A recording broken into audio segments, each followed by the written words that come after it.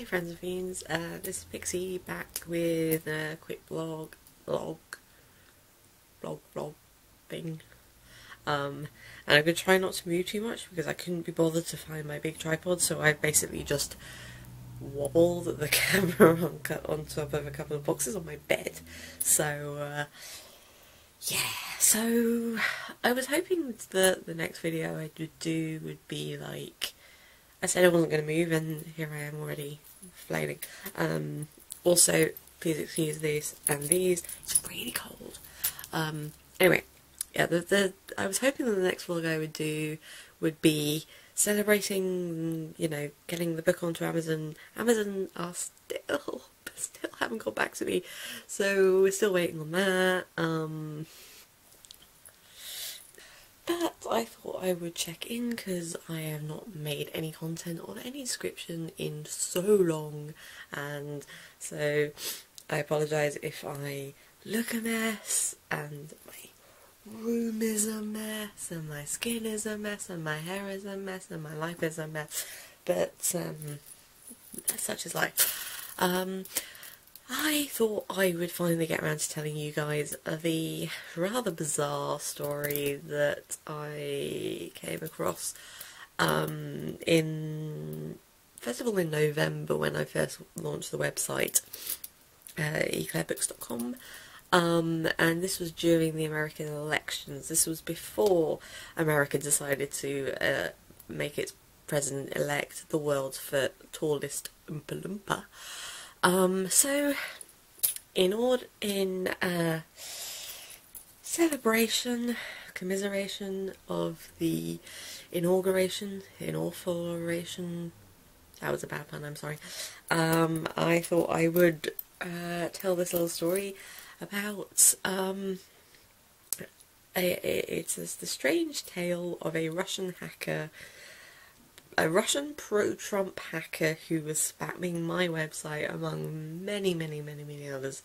Um, so way back in November when I first launched the site, I suddenly noticed I was getting a lot of hits that were coming from Russia, and my initial thought was um, this is on looking on Google Analytics. If you don't know what Google Analytics is, it's Google's fancy suite of programs that look at um, where hits are coming to you and who is looking at your website and where they're coming from. So where in the again uh, sudden jump in quality because my battery on my main camera went out. um, also the thing in the background that's glowing um, that looks like a mutant brain that's my lava lamp. It's just warming up. Um, I realise that looks really odd. Anyway, um, so where was I in my tale of tales? Um, so yeah, um, Google Analytics is a useful tool that tells you who's looking at your website basically. And I noticed I was getting a lot of hits from Russia, and was thinking, I don't have any internet friends in Russia. I have internet friends in many, many places, um, and you know, I was getting a hit from say someone in Australia, and I was like, I know who that is. I'm getting a couple of hits from uh, Germany or um, Holland, and like I know who those might be. Um, but hit masses and masses of hits from Russia, like mm, a, a, huge percentage coming from Russia. And first of all, I thought, well, that's quite weird. Um, then I had a look down at the um, the sources. So um, where Google is telling you that it's coming from. Um, and um, what came up, and I will post a, I will cut in a little screenshotty of it. Um, what came up was um, secretgoogle.com. Um, click here for hidden something or other. Uh, vote for Trump, and I thought, hmm, um, surprise, surprise, I don't like Mr. Trump very much. Um, and not many of my friends like Mr. Trump very much. Funnily enough, um, we here in Europe are a little bit uh, uh, less trustworthy of far right people.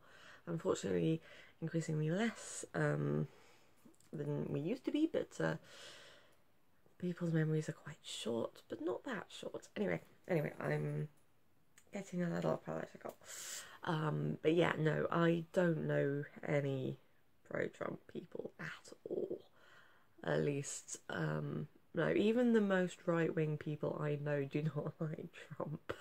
So, yeah, um, and I thought that sounded dodgy as fuck. Obviously, I didn't click on the link because I'm not an idiot, but I did do a little Google search because I was curious. Um, and I came up with a bunch of tech blogs. Basically, this um, this magical Russian hacker had been spamming a lot of web. Well, he's probably not even really a hacker, but um, uh, th- this particular website had been spamming huge numbers of different um, websites. Um, big sites, little sites, small business, big, big, big, business, and everywhere in between.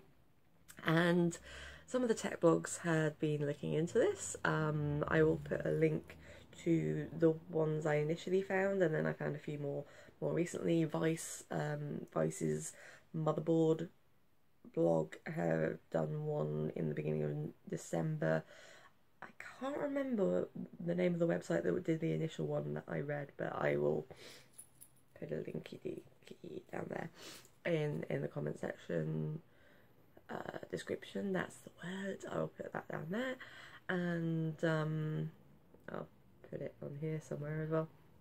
Um, so yeah, they had looked a little bit further, and um, when I initially looked at the Google.com secret secretgoogle.com think it didn't look right. Um, there's something weird about the G, and again, I will cut in here.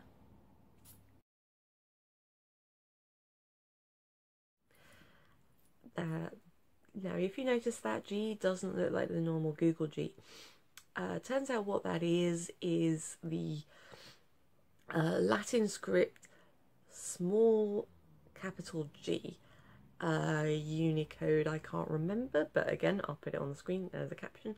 Um, and what this person had done was taken that um, character, that's the word, character, um, and had registered Google or that character, google.com, um, and had started his little spam campaign from there and I do say his because I uh, found out more recently this is all one guy. This is a guy who's apparently quite proud of this. Um, his name is Vitaly Popov, which is the most Russian name. I'm sorry, the most Russian name.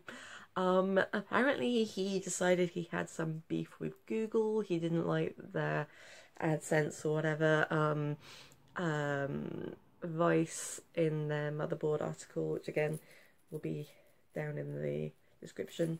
Um, um, managed to get an email response from him. He sounds like he's quite proud of it.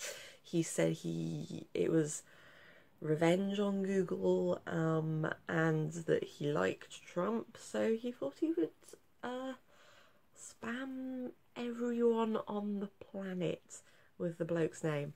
Um, So, um, it by the looks of it, a lot of tech blogs have been dealing with this guy. Um, if you're interested in, if you yourself are getting these spammy things a lot, um, there's another article down in the com. Um, I keep calling it comment description box down down below. Um, which is really good um, about how to um, hide those from the, your analytics um, and how to get um, hope for maybe block them completely. I don't know. Um, they've definitely stopped showing up in my analytics since I've been poking around with that.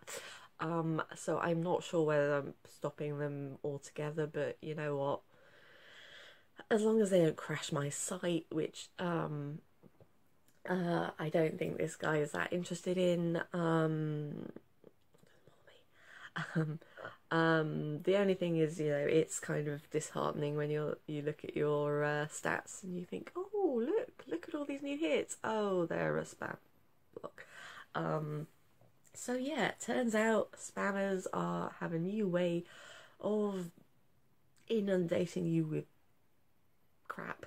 Um, um, and that is well, I say new. It's it's new to me. Um, this guy is by far not the first person to do it, but he's done it a lot, and for one person, it's almost impressive. Terrifying um, and impressive. Uh, initially, I assumed that it was some, you know, covert Russian hacker collective or something. Um, I didn't realize it was one guy.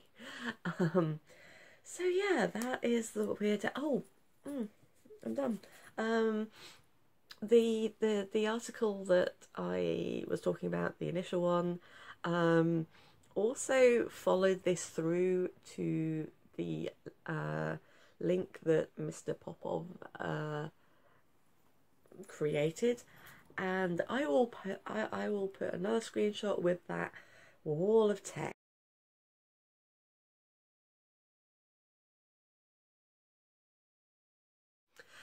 If that wall of text looks familiar to you but you can't place why, um, imagine uh, those words, um, then paste over the top some uh, checkout uh, cashier point noises and a bluesy 1970s era guitar riff because that is the opening few lines from Pink Floyd's Money from the Dark Side of the Moon album.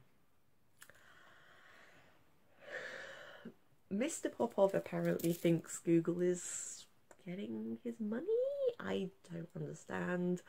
Um, I've not managed to work out what's actually on this site because I'm not dumb enough to follow that link. And by the sounds of it, none of these tech blogs are either. Um, I was hoping I'd find someone who had had a look on it, but